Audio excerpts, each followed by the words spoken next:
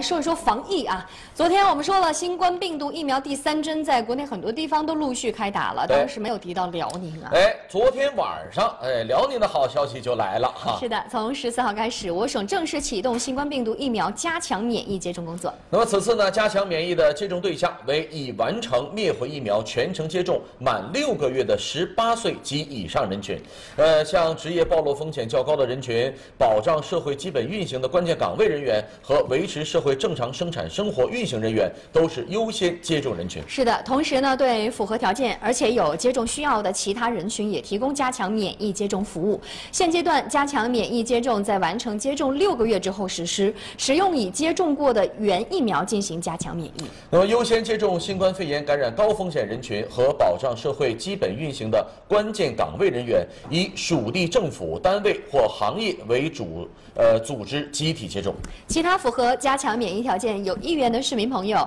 请就近前往原基础新冠疫苗接种点来进行加强接种，进一步增强免疫效力。